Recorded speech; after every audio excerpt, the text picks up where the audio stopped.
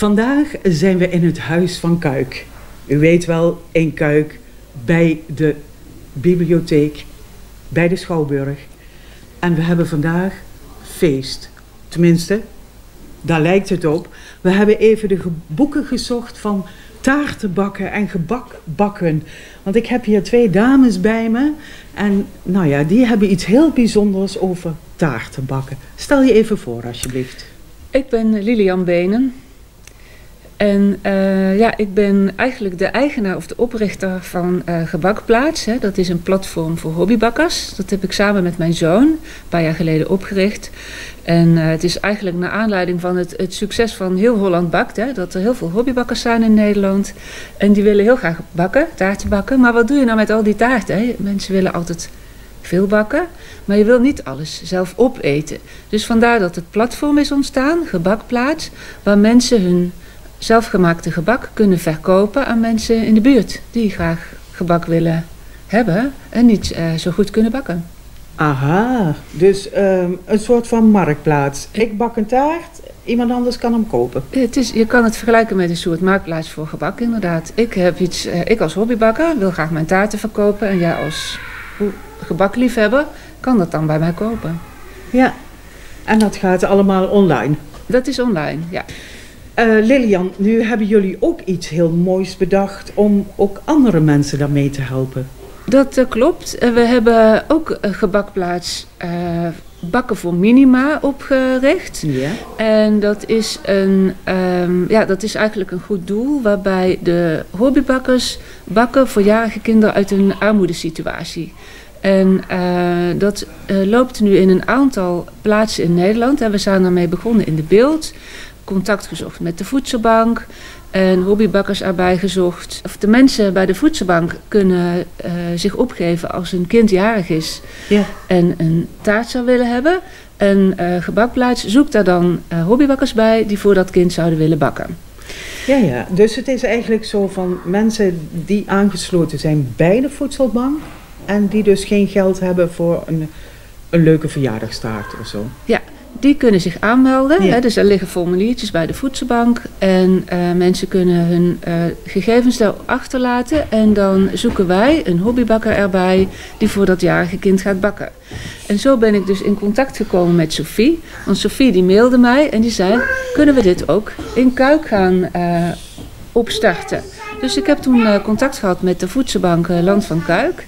En die waren geïnteresseerd. En vandaar dat we ja, hier nu zitten, omdat wij, voedsel, eh, omdat wij hobbybakkers zoeken die eh, mee willen gaan doen met dit leuke initiatief. Aha, en daar komt Sophie in beeld. Ehm Ja. Sophie, woon je in Kuik? Ik woon in Oefeld, Je woont in Ja. Oefeld. maar in de buurt. In de buurt, want de voedselbank is niet alleen voedselbank Kuik, maar ook voedselbank Boksmeer. Ja, ja, precies. Ja. Dus Nou. ik woon mooi in het midden. Mooi in Ja. het midden daarvan. Ja. Ehm, jij eh, heb je opgeworpen van, nou, zoiets moet hier ook gebeuren in het land van Kuik. Ja, ik zou heel graag eh, zelf in ieder geval bakken voor, eh, voor andere kindjes. Ehm, en nou ja, omdat, het- omdat het hier nog niet, het project nog niet opgezet was, dacht ik, dat kan ik wel doen. Ehm, ik vind het leuk om, ja, om die opdrachten uit te schrijven en mensen te koppelen aan, aan die jarige kindjes. Ja, want dat wordt dan jouw taak. Ja, ja. Eh, mensen eh, met elkaar connecten daarin. Ja, ik zal ehm, contact onderhouden met, eh, ja, met de voedselbanken. En ehm, als er op, of ja, aanvragen binnenkomen vanuit gezinnen, dan komen die bij mij en die zet ik online.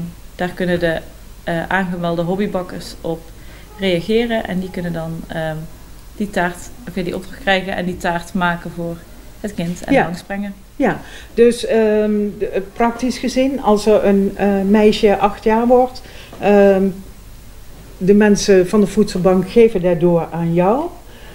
Jij zegt van eh, een, een achtjarig meisje en iemand anders bedenkt van, nou, daar weet ik echt de leuke taart voor. Of gebakjes. Ja, kindjes kunnen wel opgeven waar ze van, ja, waar ze van houden. Ehm, en dat zetten we er dan ook bij in de, in de advertentie. Eh, mochten er allergieën zijn, dan wordt dat ook doorgegeven. Ja. En ja, dat krijg je dan als hobbybakker. eh, krijg je dat. te horen. Ja. En hoe komt eh, die taart dan bij het jarige kind? Ehm, als de hobbybakker ehm, nou, de taart gebakken heeft, dan mag je die zelf gaan afleveren. Dus het adres wordt, ehm, wordt dan aan de hobbybakker verstrekt. Ja. En dat wordt alleen aan degene verstrekt die werkelijk gaat bakken Ja. natuurlijk, in Ja. het kader van de privacy. Ja. Zeker. Ja. Ja. En voor de mensen die, die zo'n taart dan geleverd krijgen voor het, het jarige kind of zo, zitten daar kosten aan verbonden? Ehm, nee, voor het kind eh, is het helemaal gratis. Ehm, en als hobbybakker eh, betaal je dan eh, de ingrediënten van de taart. En ehm, ja, je kunt het eigenlijk zo gek maken als je zelf wilt. Ehm, maar je bent zelf verantwoordelijk voor eh, de kosten van de taart. Ja. Dat Ja. is gewoon een, gift cadeautje. die je Ja. doet. Ja. Het is al heel leuk dat je een taart mag bakken natuurlijk voor iemand anders, toch? Ja, dat is, Die daar heel als je blij daar van iemand wordt. blij mee kan maken, dan... Ja, ja. Nu, eh, eh, ik zei al, we zijn in een biep en hier hebben ze natuurlijk fantastische boeken van allerlei mooie taarten en gebakjes. En je kunt het zo gek maken als je wil.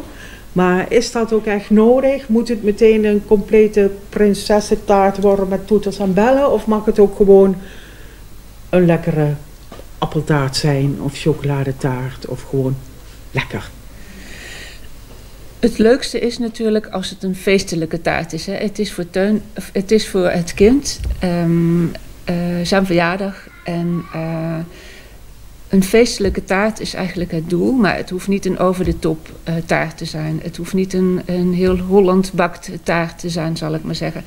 Maar je kan een, een slagroomtaart met toefjes of met vlaggetjes of met frutseltjes. kan je een taart heel feestelijk maken. Ja, Er is heel veel animo. Hè? Mensen willen heel graag iets betekenen voor kinderen, jarige kinderen uit een eh, armoedesituatie. Ja, Ja. het is natuurlijk een prachtige en toch redelijk makkelijke manier om iemand te verblijden. Hè? Ja. Hoeveel bakkers heb je nodig, denk je? Een stuk of 50 in het gebied eh Kuikboksmeer ehm zou, het, zou het haalbaar zijn om de wensen van kinderen te kunnen voldoen. Je bepaalt helemaal zelf wanneer je bakt. Je krijgt een oproep van Sophie. Hè, er is een kindje jarig, zou jij kunnen bakken? En dan bepaal je, ben je helemaal vrij om te besluiten of je dat deze maand gaat doen of niet. Ja, ja. Ehm, nu zijn er natuurlijk heel veel mensen die enthousiast zijn geworden. Die denken van, ah, dat vind ik leuk, ik ga bakken. Waar kunnen ze terecht? Of waar is meer informatie te vinden? Eh, De informatie is op de website te vinden. Het eh, adres van de website is www.gebakplaats.nl slash minima. Ja, en dan kom je ook terecht op Kuikboksmeer. Je kunt je daar aanmelden eh, om mee te bakken als hobbybakker. Dankjewel. Graag gedaan. Dankjewel.